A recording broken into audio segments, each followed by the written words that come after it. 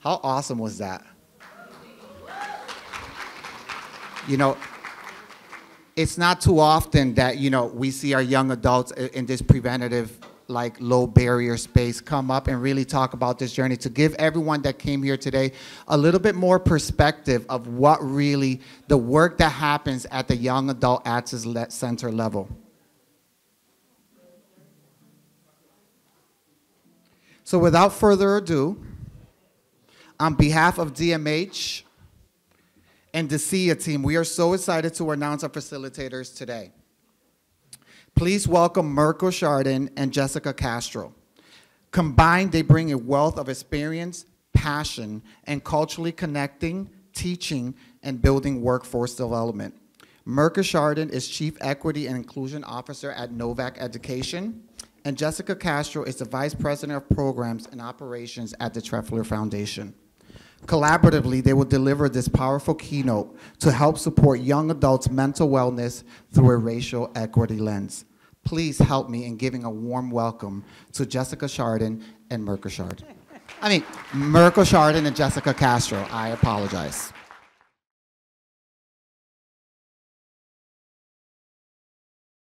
When I say speak, you say hope. Speak. Hope. Speak.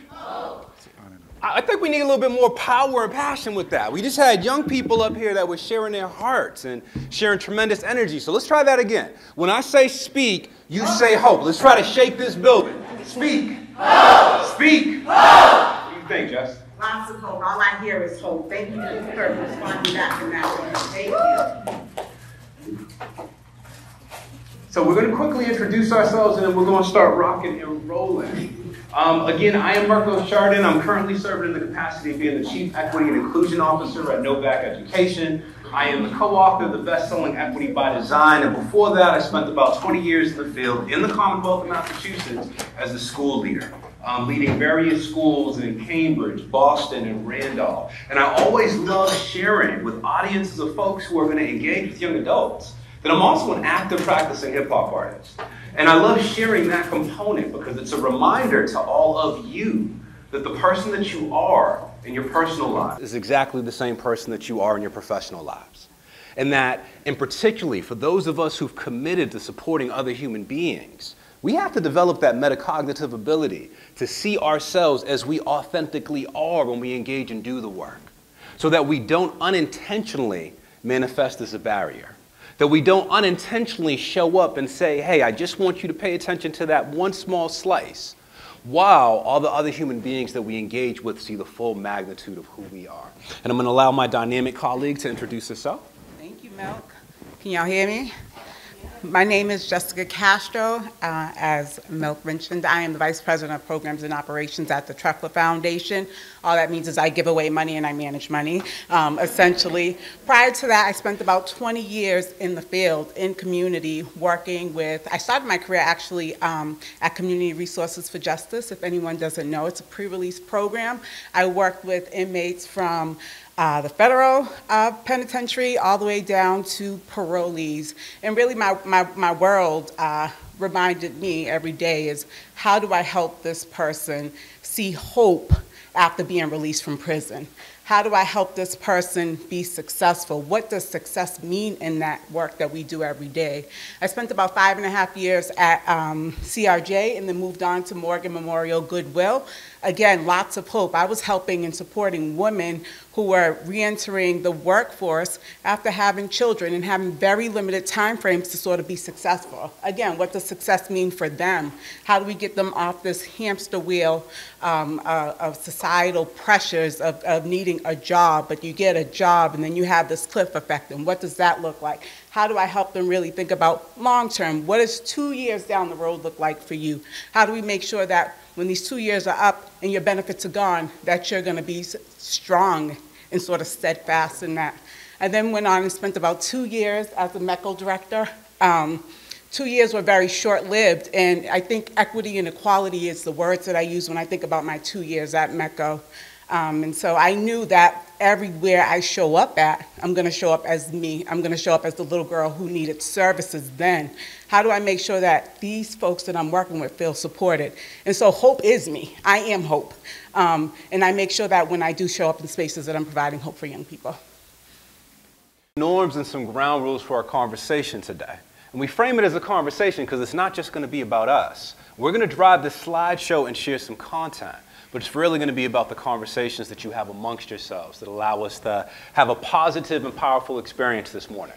So, first and foremost, we're asking you to stay engaged. We live in a world and society where there are temptations to have your attention go in different directions all the time. I know my cell phone goes off with texts and news alerts and emails and things that draw me in different directions. But I promise you, if we hold this time sacred, we're going to have a powerful experience because that second norm is expecting each and every single one of you to speak your truths with no shame, blame, or judgment. That means it's okay to ask questions, it's okay to disagree, it's okay to push back. We are not trying to silence any voices. We want to ensure that there's a safe enough space, a brave enough space for us to all be seen and heard in ways that work for us.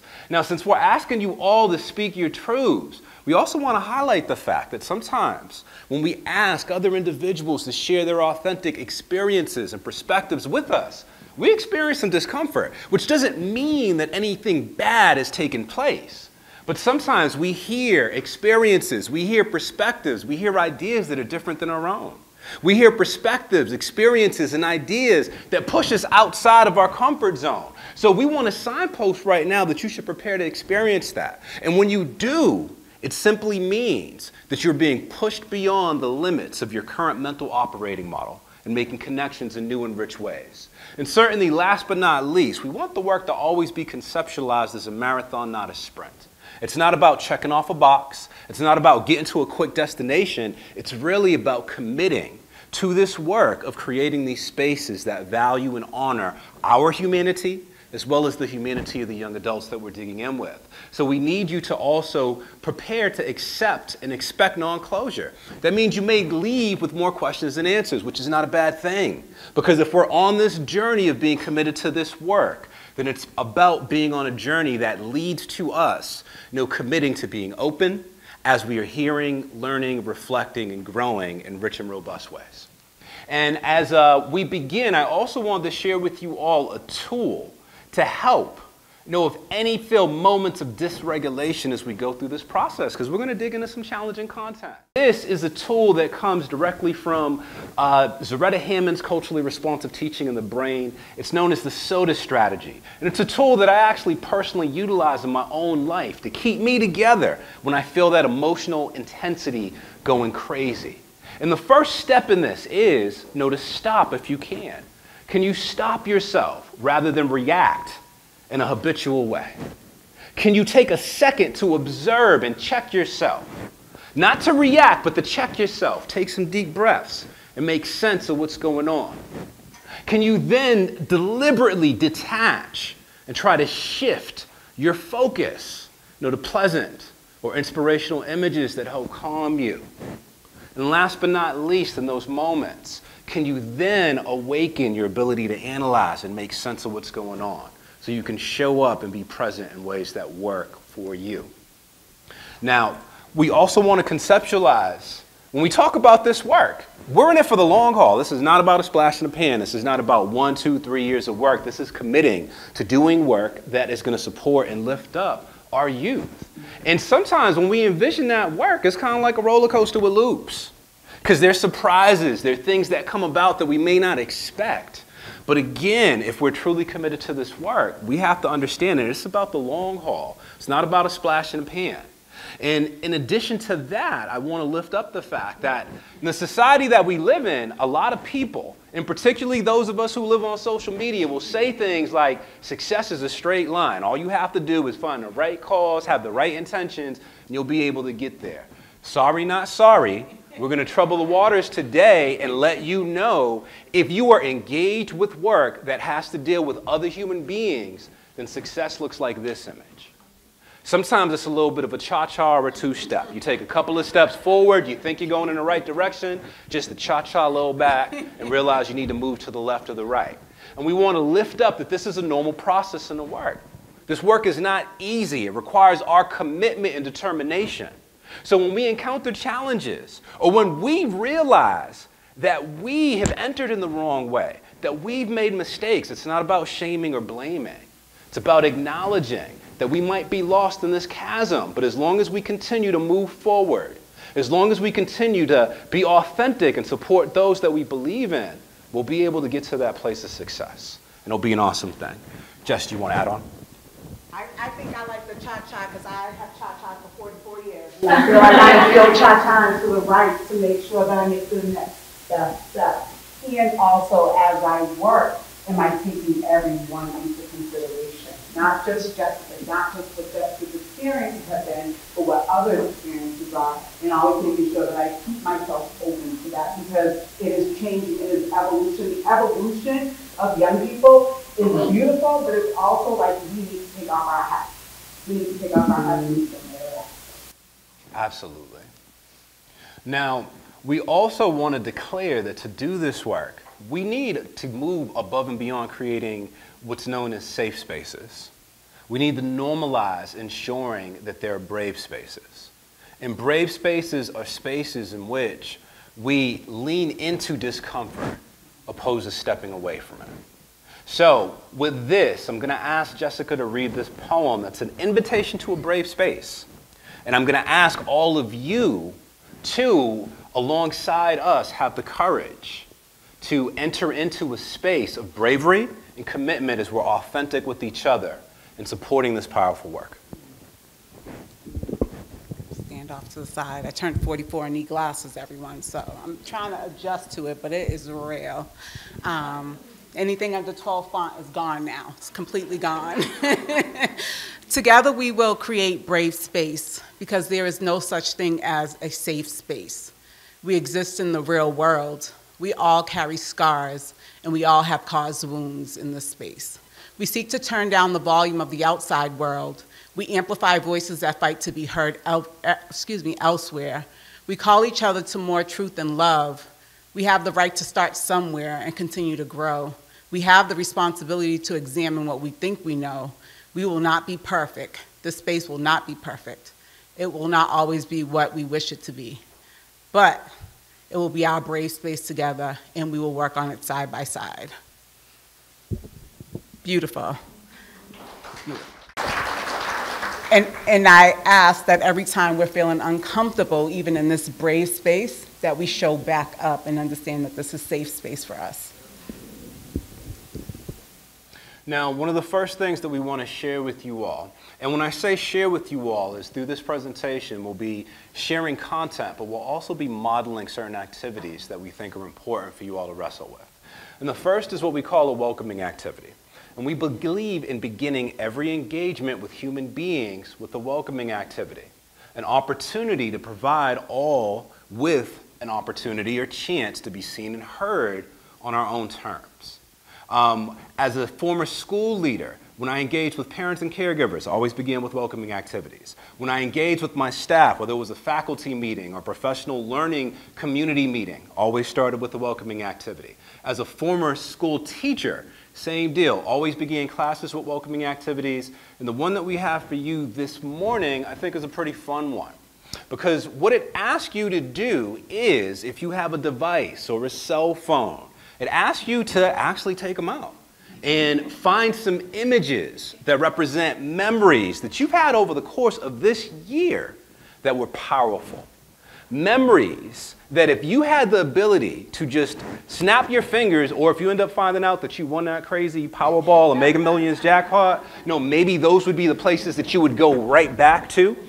Um, and we want you to find those images and then we just want you to engage in a turn and talk where you do some sharing and listening with those around you about those fabulous spaces that you would zoom back to. And now, if you don't have a device or you don't have any images, it's okay to just spend a moment in reflection and think about what those moments are that you would love to zoom back to and that you are prepared to share with your colleagues about. And we're going to do some modeling before you, we get you started. Uh, this image on the top is the space that I'd always like to zoom back to. It's an image of myself and my wife Haley on the beach on horses in Jamaica in August of last year. And whenever I am thinking about a place that I would rather be in, and particularly when I'm on a highway stuck in traffic, right there. Um, and Jess, you want to talk about yours? Yeah. So this is a picture of me and my baby. This is my daughter, Janae. Janae started her own business, her own baking business when she was 15. And so my little entrepreneur was invited to do desserts and Ayanna Pressley's birthday cake, right? Um, and so we were sitting there, and she's like, "Mommy, no pictures, no pictures, no pictures." And I'm like, "I just need one selfie. I need to capture this moment." Um, and so that was that was uh, that moment for me, and it's it speaks so much to young people and their audacity of hope and their audacity of power and pushing through even as she was out navigating her high school years. So that's my picture.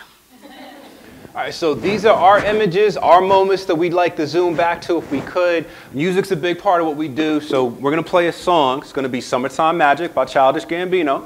While the song plays, I want you to engage in conversation and share and listen about those spaces that you'd like to be at. Once the song is done, our voices come on and we begin our process of digging through the content. Enjoy this first micro moment of reflection, everybody. See, now I know even though we stayed up here. We weren't walking around the room. I know that you have some powerful conversations. See, this is why I love welcoming activities. I know because there's an awesome murmur in the room right now. And looking into the audience, they were extremely uh, big grimaces and grins and smiles on your faces. So I know there was something positive that was happening back there. And I know, even though I wasn't involved in any of your conversations, that each and every single one of you got to be seen and heard on your own terms. How do I know that? Well, you had the ability to pick and choose. You got to share as much as you liked or as little as you liked. And that's the magic of a welcoming activity. It creates an opportunity that says, hey, for all participants, this may just be a space in which we'll be seen and heard and acknowledged in the ways that we want to be acknowledged. And it's one of the reasons that I always advocate for starting each engagement with a welcoming activity. And for those of you who will continue on with us in future trainings, we will show you different examples of different welcoming activities at the onset of each and every session. Now, reflection is also a dynamic, hugely important portion of this work. And oftentimes, due to pressure, no, we will not make time to reflect. Time to reflect individually, time to reflect with colleagues, a time to hear the reflections of our young adults. But we want to remind you as we begin this journey that reflection is one of the most important and critical elements of the learning process. So we're going to share a video clip with you. This is called How Do I Know? And a lot of times when people hear the phrase, How do I know? the next thing they say is, What? How do I know what? But the key really isn't to know what, the key is to know why. Because when you know your why, you have options on what your what can be. For instance, my why is to inspire people to walk in purpose. My what is stand up comedy. My what is writing books. My what can be going out with some friends to eat. In fact, another what that has moved me towards my why is a, a web series that we have out now called Break Time. So every Wednesday at 3 o'clock, you should subscribe to the, to the channel uh, we do a series called Break Time on YouTube. So three o'clock, we drop a new episode. One episode in particular, I'm about to show you a clip to. We were in uh, we were in Winston Salem. So break time, this is how it works. I travel the country. I do stand-up comedy, probably an hour, hour and a half at an event. And in the middle of my show, I'll just sit down and start talking to the audience. And funny just happens or I'll meet somebody who's really interesting. So I met this one guy, and he said that he teaches music at a school. I was like, all right, you teach music, you know, um, can you sing? And then uh, I'm just gonna show you the clip. Check it. So you're a musical director. Cool. Yes, sir. All right, so um, let me get a couple. Let me get a couple bars of like uh, "Amazing Grace." Can you do the first part of that? Me, Go ahead. Amazing grace How sweet the sound that saved a wretch like me. Wow. That bro could sing. You know what I'm saying? All right, all right. Um, now, what you give me the version is if uh, your uncle just got out of jail, you got shot in the back when you was a kid. I'm just saying, let me see the hood version real quick if you know which version I'm talking about. Just see if that exists. Let me see what you got. Amazing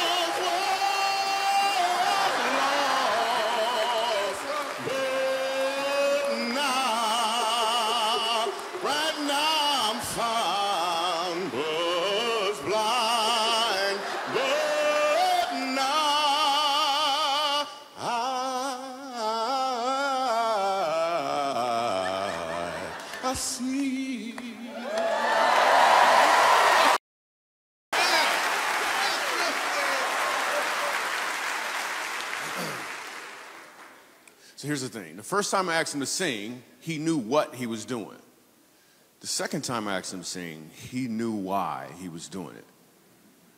When you know your why, your what has more impact because you're walking in or towards your purpose. Now, I start with this video clip because the work is very different when we're grounded in our whys before we get to our whats. And reflecting on that why has to be an intimate and a personal decision. It has to be an intimate and personal experience. So we're going to engage in a quick micro moment of reflection before we dive any deeper. And we're going to simply ask you all to reflect on your why. You know, what is your why for this work? What is your why, you know, for your time here with us together this morning? We're only going to hang in here for a couple of moments. Um, we're going to play a different song. This time it's going to be Don't Stop Believing by Journey. It's not because it's karaoke hour. I saw some smiles. You know, it's as a reminder that we need to continue to believe in ourselves, our colleagues, and the young adults that we are pouring into. And with no shame, blame, or judgment, we want you to really dig in and be authentic as you reflect on that why. And when this one is done, we will take this thing out the docks and really begin digging into the rich content we have for this morning. Now, something I want to lift up uh, is I think about my why for this work, or share a little bit of you, with you of what grounds me in this work, is first, first and foremost the acknowledgement that access alone is not equity. And for me, this work is all about equity. And I always start here because in the world that we live in, many hang their hats on access today, that it's all about access, that if we only can simply connect our young adults with the right materials and resources, then magic will happen. We've done our job. Well, I'm here to trouble the waters and say we have to go above and beyond access. Because access alone doesn't get us to equity. And access alone is not enough to create spaces that are safe and welcoming and that will treat our young adults with the respect and dignity that they deserve. See, we have to go above and beyond access to acknowledge, hear, and make sense of what the needs are of our young adults. If we cannot do this, then the work falls short. And Jess is going to unpack equity. Because when we talk about equity, we're always talking about four components. Right, thanks, Noak. And so if we look at, at the presentation, the four, at the four parts are equitable, well, let me start, step back for a second. The four pieces are access, opportunities, expectations, and hope. Hope, hope is here. Hope is here forever. Um, so equitable access to inclusive environments. What does that mean? If we're going to open our doors, what do the doors look like? What does the space look like? Is everyone sort of, at, at the least of it, invited? Does everyone feel welcome in that space? Equitable opportunities to learn and grow. Are we creating space where if someone is hard of hearing, do they get the opportunity to be in that space? We have bilingual interpreters in here. That was incredible as I was watching. I was like, wow, you gave opportunity to young people to hear stories, to share their stories, where that's something that's missing oftentimes equitable expectations of being successful. I don't know about you guys, but I look at success in many different ways. Sometimes, to me, success can be just waking up in the morning. Other times, success can be someone earning their doctorate degree. And equitable feelings of belonging and hope. I want to feel like I'm here. I want to feel like you're working with me and for me. We're working together for a collective cause. And if I don't feel that way, then I'm not going to show up in that way. Now, I also look at the two bottom bullets these are not from our perspectives as practitioners. These are from the perspectives of the young adults. Do they have equitable expectations of being successful when they are with us? Do they have equitable feelings of belonging and hope? These are things that we have to wrestle with if we're truly creating spaces that are worthy of them. Now, a great tool that I'm extremely passionate about that I believe helps with this work is wrestling with what's known as the Universal Design for Learning framework. And this is a tool that's utilized in schools and in elements of our society all over the place. We actually live in a world that's been so universally designed for us that sometimes we lose sight of that fact. And when we think about universal design, we're not simply talking about action steps that we take. We're talking about both adaptive as well as technical components of the work. And what I mean by adaptive is we're talking about starting with our beliefs and our values that guide the work. See, everything that we do in this life is adaptive first, then technical. No, the technical is what we do, the adaptive is what we believe. We take certain actions, we make certain decisions based on what we believe. If we are not able to build in time to reflect and to consider what we believe, then sometimes there's a mismatch in what we see manifesting itself. And when I talk about the adaptive elements of universal design, I'm always talking about the three principles that you see on the screen right now. First and foremost, acknowledging that over 30 years of neuroscience and breakthroughs in neuroscience have communicated to us that variability, it's a rule, not an exception. That each and every single one of our brains is made up of neurons that create neural pathways that are just as unique as our individual fingerprints which means that you are always surrounded by difference. Whether you believe that you are or not, our brains are not wired in the same way. We've had different life experiences, different preferences, different ways of interpreting the world. And if we're creating circumstances for individuals that aren't just us, we have to take into consideration that if we're in a room of 30 individuals, then there are 30 different ways to interpret the experience, the materials, and things that are before us. We have to take that into consideration. Second, if we wrestle with universal design, is that we truly believe that all can work towards the same firm goals and targets. Stated differently, we actually have high expectations for everyone. And I typically add that in the world of universal design, we typically say that we don't change the target or expectation for anyone because we realize as soon as we change a target, we change a trajectory and individuals will always land exactly where we expect them to. See, sometimes we say, hey, this is too hard, it's too challenging, I need to give you something else. And six months later, we start racking our brains. Why didn't they get to the place that I wanted to get to? It's because you sent them on a detour, because you didn't believe that they could do it. See, if we truly wrestle with this, we acknowledge the fact that we believe that each and every single individual inherently within themselves has the potential to become an expert learner, to operate at expert level if the barriers and limiting agents are removed. What's foundational and fascinating for me about this is if we truly wrestle with this, then it communicates that when we're in circumstances and we don't see our young adults shining and revealing their inner genius and brilliance, it's not because they're broken. It's not because they're bad ones. It's not because there's something a matter with them. It's because there's a barrier that's manifesting, that's stopping that inner genius from revealing itself. Even if the biggest barriers that are ever present are the invisible ones that lived in our own unchecked thinking, thoughts, biases, and assumptions about other individuals. This is one of the reasons why we communicated from the onset that reflection is so powerful. Because sometimes we move forward without actually taking into consideration ourselves, our thinking of the individuals that we're supporting. And we may believe that we are well intended in our approach, but the impact may not be what we want it to be. Now, a formula that I encountered really in my years being a school leader in Massachusetts that helped me with this work. Because as a school leader, there'd be tons of times when I would be full of tears, frustration, and disappointment because I'd realize no matter what my efforts were, we weren't supporting the kids in the right way. But when I encountered this formula, it changed everything for me. And it's a formula that communicates that our values and our practices are supposed to you know, equate our outcomes. And that if the outcomes that we see are not the ones that we want, then that directly communicates that we may not be operating with the right values and we may not be matching them with the right practices. Which communicates back to us if what we're seeing in terms of outcomes are not what we know they could be, then again, it's not because our young adults are broken or bad or there's anything the matter with them. It means that we have some self work to do in reassessing our values and the practices that we're putting in place to try to get to those outcomes. And I have this image and quote from Albert Einstein on the screen because some of us who engage in this work you know, live on a regular basis his definition of insanity.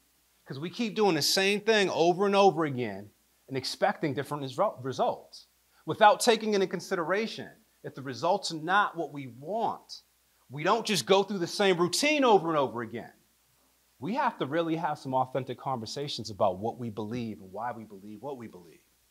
And some authentic conversations about what's going on with the practices that we're employing, because they should be leading us to these outcomes. And if they're not, then we got some work that we got to do. Because it's not about the recipients of the service, it's about the service providers getting ourselves together so we can truly ensure that we're meeting their needs. And next, I'm going to share with you some really big questions. In fact, I consider them the going beyond access framework. And it's my belief if we normalize wrestling with these questions before we sit to plan, before we set the plan in any capacity, a meeting, a program, before we sit to take into consideration an agenda for an event, that they help us to enter into spaces that ensure that we go above and beyond access as we consider meeting the needs of other individuals. The first one of those questions are Are we valuing impact over intent? No, is it a circumstance where we hang our hats on intent, where we pat ourselves on the back because we're saying we are good people who are sacrificing time, effort, energy, and emotion to try to pour into others, but we are not mindful of what it feels like to be on the receiving end of our decisions? Well, I know that we live in a society that talks a lot about everything being intentional, and it is true. We need to be intentional about the practices that we choose to employ. But your work is not about intent, it's about impact. It's about how it shows up in the hearts, minds, and lives of the young people that we're serving. And it is very plausible, impossible to have the best of intentions, yet to still wind up in circumstances where you've unintentionally inflicted harm on another individual. Case in point, I can jump out of the parking lot, get in my car, get on the highway, have every intention of not getting pulled over by the state troopers, not trying to you know, break the speed limit, every intention of not getting into a car accident. So I'm doing everything I know possible to not be in one of those circumstances. I have my music turned down. I have both hands on the steering wheel. I have a laser light focused on what's ahead of me. But I blink my eyes, and in the fraction of a second, someone pulls in front of me. I am not able to stop in time. I rear end them. This wasn't my intention. I did everything that I knew to do to not be in this circumstance, yet I'm still finding myself in a position in which I've inflicted harm on another individual. The work's not about intent, it's about impact. And whether the, the, the, circumstances that have manifested themselves, whether they were intentional or unintentional, the impact is still the same for the individual who's on the receiving end. Next question when we think about this work of supporting our young adults, no, are we sure that they can see themselves reflected in our work? Or is it a circumstance of us doing things like say, all means all, all are welcome, while implicitly communicating to some that they are invisible because they never see any evidence in our practice, even in the images that they see up on walls when they enter into our facilities, that we are aware of the fact that individuals from whatever their identity markers are have historically contributed to our society, are currently contributing to our society, which therefore reinforces the chance or hope that we believe that they will authentically contribute in significant ways. And when I ask this question, I'm not talking about an act of politics or a simple act of kindness. Again, I'm referring to neuroscience. Because each and every single one of us as human beings has a small almond sized gland in the middle of our brain known as the amygdala. It's that gland that's responsible for triggering that survival mode, flight, fight, or freeze reaction. And when we enter into spaces, all of us as human beings, where we are not sure that our identities have been reflected, we don't know if we can authentically be safe in the space. We don't know if the individuals in this space will actually hold us in high regard or treat us with respect and dignity. So our amygdalas go into red alert. And we need to ensure, if we're truly communicating that these spaces are safe, that our young people see themselves reflected.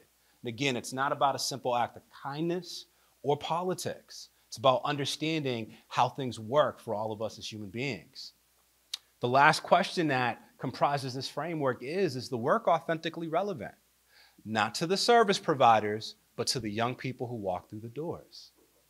Are we communicating, you know, through the work that we are doing, that we are aware of what actually has importance, value, and salience in their lives? Or again, is it a circumstance of us saying, hey, I know what's important for you, without taking into consideration the actual recipients of the work? I know that we have said a lot, so we're going to bring it right back to you for another quick micro moment of reflection. No, so I want you to next engage in a quick turn and talk. No shame, blame, or judgment. You're speaking your truths. What ahas, questions, reactions, or wonderings do you have so far? And our song for this one is going to be Lions by Skip Marley. Enjoy your next micro moment of reflection. All right. I hope your micro moments of reflection have been powerful and that you're being authentic and transparent with each other. Um, uh, Jessica and I are going to share some stories with you all this morning. Uh, and we're going to share these stories for a couple of reasons. One, because our hope is that they'll speak hope and that there'll be some inspirational messages that will come through. And two, we want to ensure at our centers that we're creating safe enough spaces for all of our young adults to be transparent and authentic and with no shame or blame, you know, to be able to be as vulnerable, you know, as they can be. Uh, so we're going to try to model this. And we're going to model it again by sharing some stories. And I'm going to share a little bit of my story first. And as I am talking about being vulnerable and modeling vulnerability, I do have to share with you all that going through some of the elements of my tale, um, it's going to be challenging for me. It's going to be anxiety provoking. You know, to share about some of these things means that I have to re encounter some of the trauma that came from those initial experiences.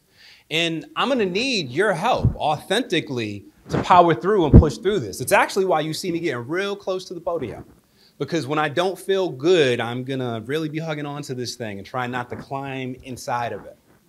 And I'm to let you know when I'm in a moment of feeling some intense anxiety by sharing with you three words Can I proceed? And when I share those three words with you, I really need you all in loud voices to reaffirm me with three words. Just let me know that you are with me and that this is a safe space. And the three words that I need you to affirm me with are yes, indeed. So, can we try that? Can I proceed? Yes, indeed. That sounds like people on this side of the room are with me, and it sounds like people on this side of the room want me to hit that exit sign. Let's try that again. Can I proceed? Yes, indeed. Can I proceed? That, that, that sounds better. That makes me feel like y'all got me. Now, there's a Sankofa proverb that you see on the screen. And I always begin the telling of my tale by sharing this proverb first and foremost, because I believe that it grounds me in the strength, you know, to be transparent, you know, with individuals that I haven't met before, you know, about some of the innermost intimate details of my life. And this proverb simply states, know your story, own your story, your story is your power.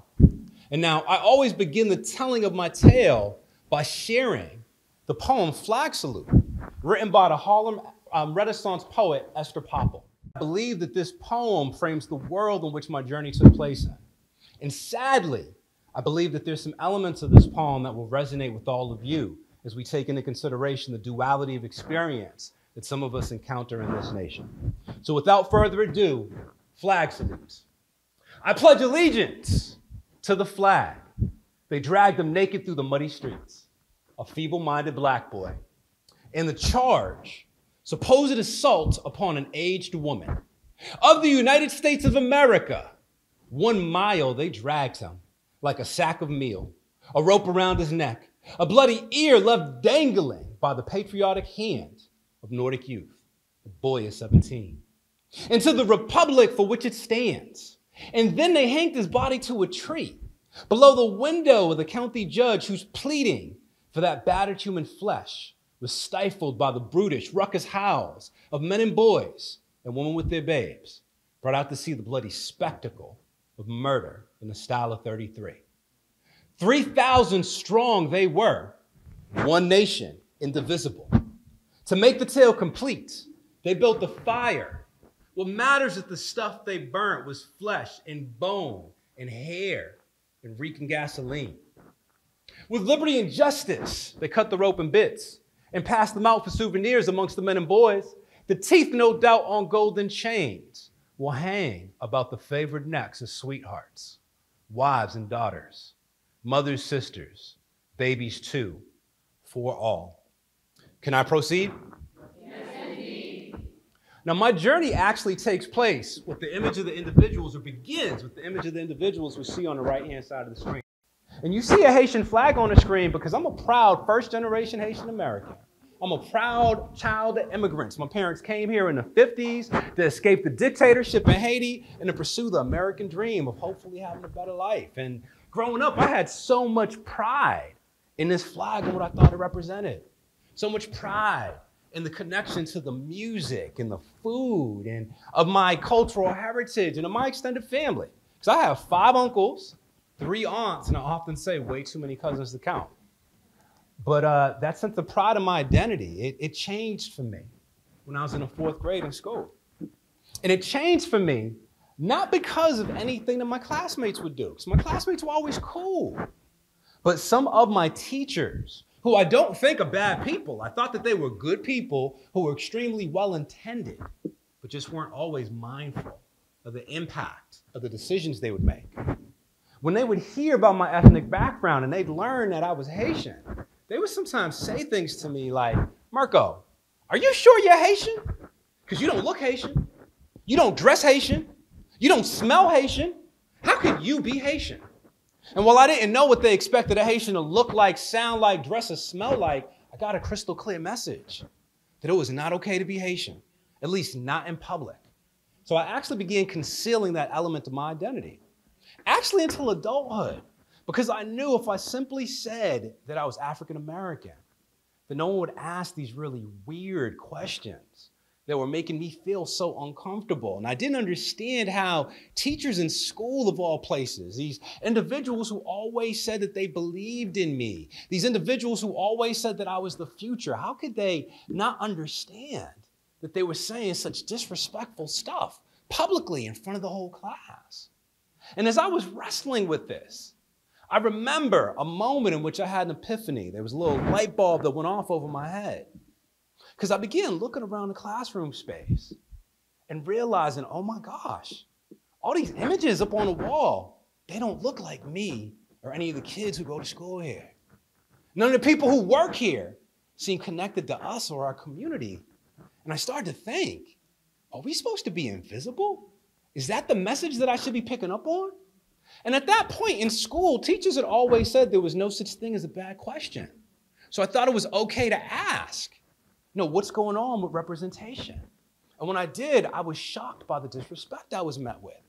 Because I was often told to shut up, put my head down, put my hand down, that I was going to get sent to the principal's office because I was asking things that nobody was supposed to ask.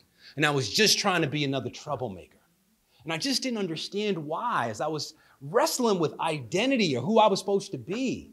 Why school, a place that was I was told was supposed to be a safe space for me, well, I was starting to feel like a real miserable place where I could not be safe.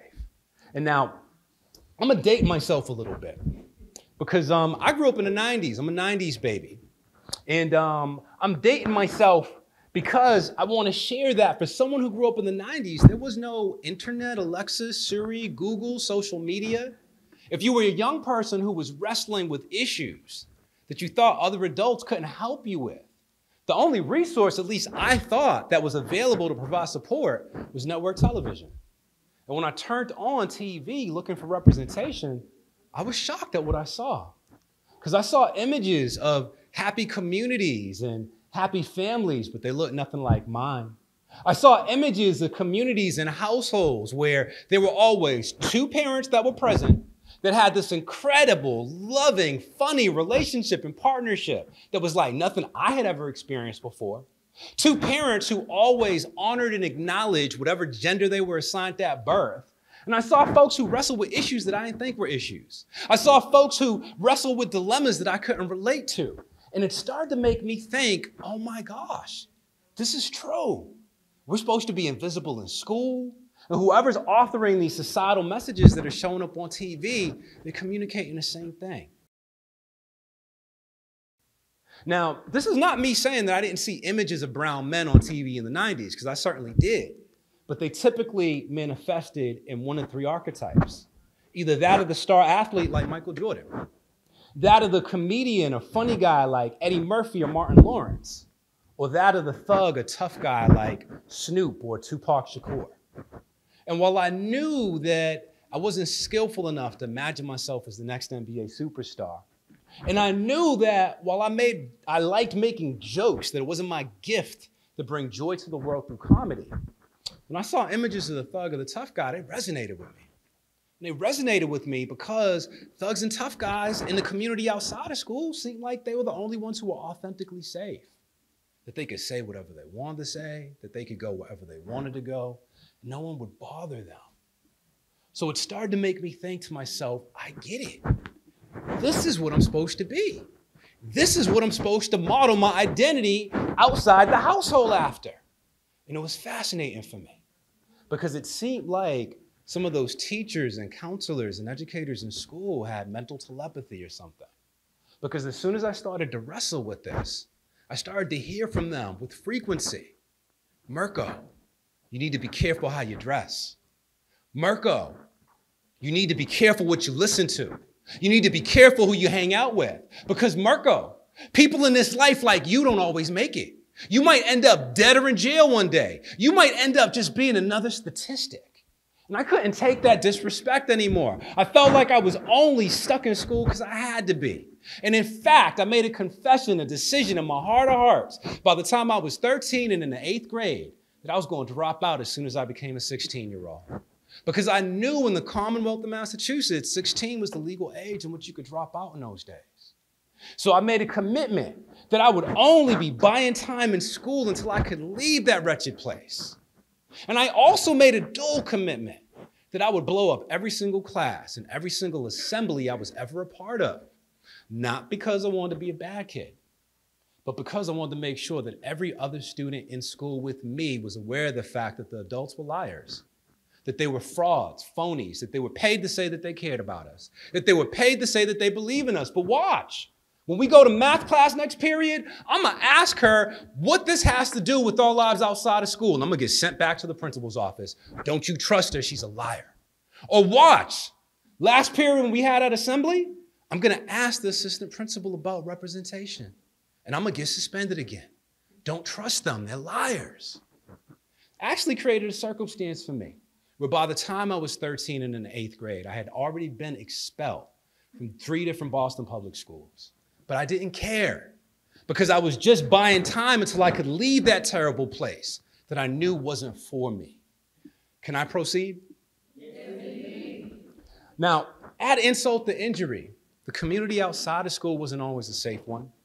And here's a quick quote from the ACLU that I have on the screen that people of color accounted for about 75% of those stopped by the Boston police, 63% of them being black in a city where less than 25% of the population was black. And now, some of you, don't worry. I'm not about to go on an anti law enforcement rant because I'm not that guy. I have friends and family members who are in law enforcement, and I love and respect what they do dearly. In my former school community, the Putnam Ave Upper School in Cambridge, Mass., I founded and was the head of school for a decade. We had this incredible proactive partnership with the Cambridge PD, where we actually had officers enroll their children as students in our school.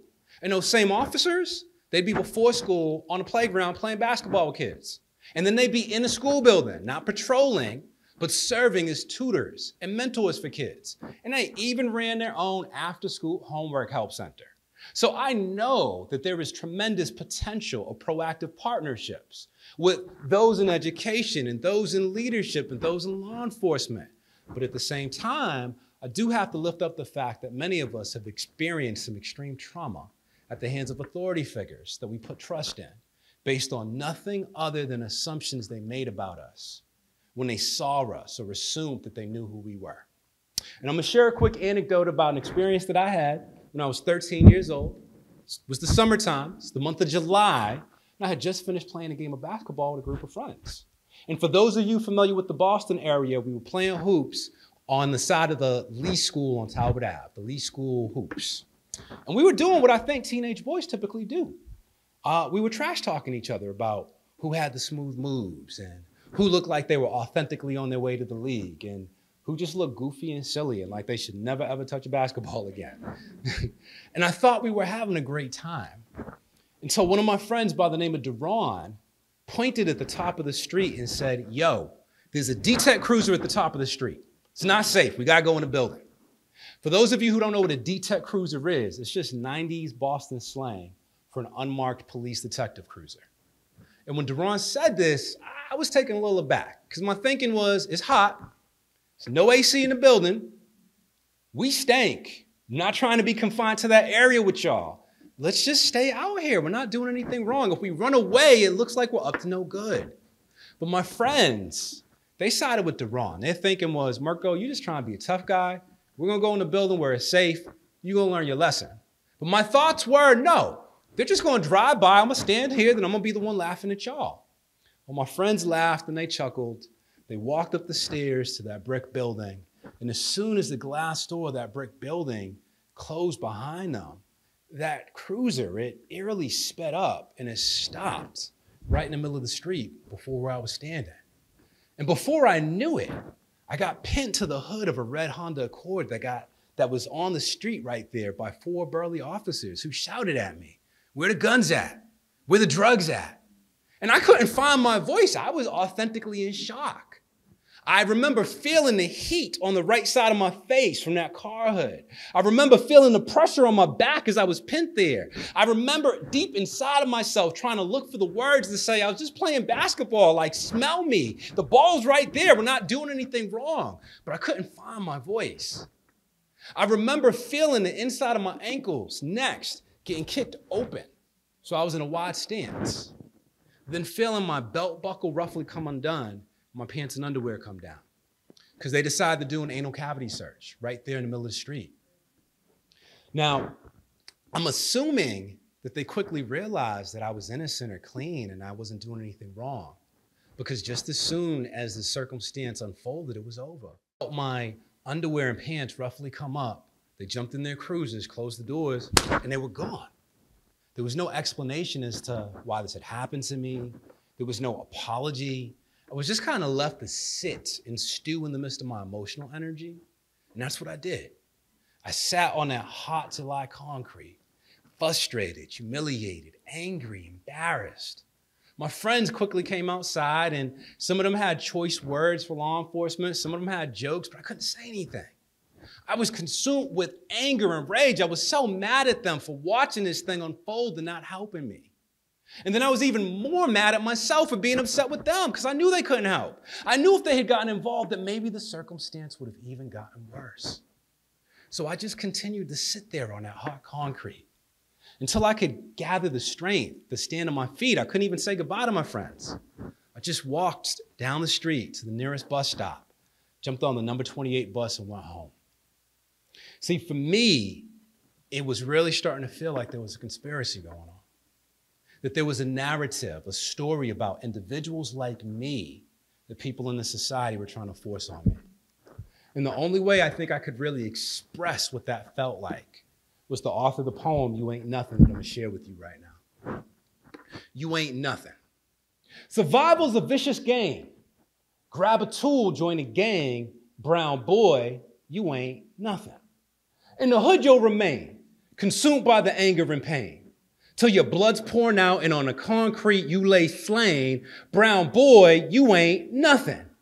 Join the team, hold heat, make a life in these streets as a predator, super menace. Your worth is worthless, drop out. Life ain't for you, drop out. This world hated you before you were born, drop out. Brown boy, you ain't nothing.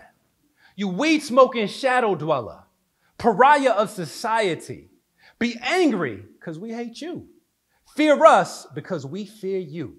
You'll never become anything because we don't want you to, and neither do you. Brown boy, you ain't nothing. Now, fast forward roughly about a year later, I felt like I had no choice but to accept this story and narrative that was written about me by these different members of our society and these different authority figures that I would encounter. And I don't know if you can identify me in this photo because I look very different now, but this is Mirko right here. The individual with that B hat over my eye that's trying to look tough or cool or whatever I was doing when this photo was taken. And this photo was actually taken on a day in which I was skipping school with friends and hanging out in an abandoned building in our neighborhood. One of the few places that we thought was a safe space for us, where we can authentically be ourselves, where we were ditching school. You know, it was a, a building on Bicknell Street in Dorchester that had the top levels all burnt out, so it was boarded up. We had to take the boards off the windows to creep into. And I often say to folks that it was probably about 30 or 35 days after this image was taken I got a phone call that dynamically changed my life.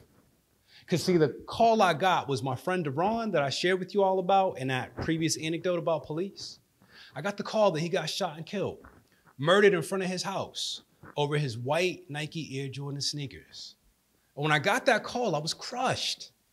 Not because he was the first person I knew who was a victim of street violence, but because he was the first member of my inner circle that was ever taken from me you know, that group of individuals that you look forward to laughing and joking with and sharing your deepest, darkest secrets with. And he was just taken. And to add insult to injury, Deron's dad was a lieutenant detective on the Boston police force. So for me, in my adolescent mind, and amongst my circle of friends, our thoughts always were if anyone had a guaranteed chance of being safe and becoming a success, it was going to be Deron, because what his dad did for a living. So to get that call that Deron of all people got killed over his sneakers of all things in front of his house, where his father, that six foot five, burly, decorated lieutenant detective of the Boston police force, lies asleep in his bed, it shook me to my core. I felt like there was no way I could ever go outside and be safe unless I armed myself.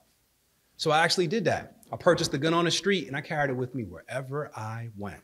Can I proceed? Now, luckily for me, not too long after I acquired that firearm, I got arrested with it in downtown Boston. And I remember that day vividly. I remember sitting in the back of that cruiser with tears welling up in the corner of my eyes, hearing with crystal clear clarity in the center of my brain all of the words of all of those adults and educators and other folks, whoever said I was going to be a statistic Whoever said I was going to be dead or in jail one day. Whoever said I wasn't worth it. And I remember thinking to myself and saying, oh my gosh, I've finally gone and done it. I have finally lived up to the expectations that these adults had of me. I finally gone and became a person that they always told me I would be one day. And I remember with tears streaming down my cheeks, looking at the individuals in the front and saying, please, just give me another chance. There's been so much going on. Just please, please, please forgive me. And hearing them chuckle back at me, ha ha, buddy, you blew it. You're going away for a long, long time. I'm actually going to leave you with a little bit of a cliffhanger. Because me sharing a little bit of my journey was just that, sharing an example of some of the things we all experience. It's not just about Mirko. And what I actually am going to charge you with now for the next five minutes or so is I want you to reflect on and celebrate your identities, your come from places, your journeys. Because if we are truly committed to creating safe and welcoming spaces that honor somebody else's humanity as a prerequisite, we have to acknowledge and celebrate our own. You are not the family that you were born into. You are not the things that you experienced along the way. You are a human being that has power and potential within yourself. And if you are authentically a human being, because I know there's some crazy AI in the world, unless you are form former AI or an alien, you have a come from place. You have a family. You have an identity. And this is not about saying my story is better than this person's or my story doesn't have this or that. It's about celebrating and honoring you. Because if you can't do that, then you are a barrier that's getting in the way of being able to create spaces that honor other individuals. So, since music's been a part of this, we're going to play a song. It's going to be Born This Way by Lady Gaga, because we were all born the way that we were. And while this music plays, I want you to celebrate your identity, celebrate your journey, celebrate your come from place with no shame, blame, or judgment. There's just a couple of quick pieces of information I want to share with you before it's opportunity for you to hear Miss Jessica Castro. And if you like what I had to say, she gonna blow your minds because she blows my mind every time. Now, what I want to lift up is in order for us to create spaces and culture at centers that allow our young people to be transparent and vulnerable enough to speak hope and share their stories with no shame, blame, or judgment, is that we have to take into consideration the conditions of nurture. And if we're taking into consideration the conditions of nurture, we have to go all the way back to Maslow's hierarchy of needs.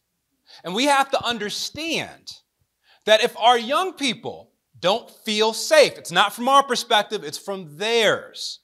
As service providers, sorry, not sorry, this might hurt somebody's feeling, but as service providers, you put in, you might not remember that you did this, but you put in a job application, you went on an interview, and you signed up for a position in which you were saying, I am here to meet the needs of another individual, which means it's not about you. It's not about me or any of you, unless you're a young adult who's in the room.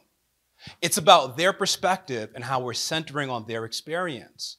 So, through their lenses, how are we sure that the space is safe? Through their lenses, how are we sure that they have a sense of belonging? They feel like they connect and they feel like they belong in these spaces that we're creating. From their perspective, they can echo out to us that they believe that we hold them in high esteem. And when we see self actualization up here, that simply means that we've met all of the fundamental basic needs so that our young people can actually show up and receive the services and supports that we have for them. Now, specifically, this notion of conditions of nurture revolves around three things safety, inclusion, and collaboration. Again, not from the lenses of a practitioner, but the lenses of the recipient of service. Now, do our young adults feel like they are safe enough to take risks and chances with us? Do our young adults feel like they have a positive connection to our spaces? And do our young adults, we talk about collaboration, this doesn't simply mean you've created opportunities to collaborate.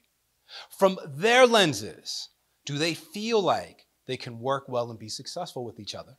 If we can't do this, then there's no room or space for vulnerability, despite what our intentions are, and there will not be the outcomes that I'm assuming and hoping that we're looking for.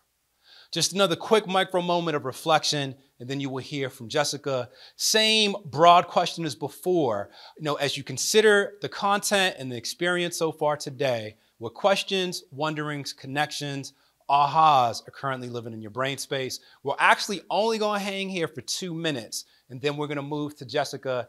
Song selection for this one is going to be Beyonce's Halo. Enjoy this quick micro moment of reflection.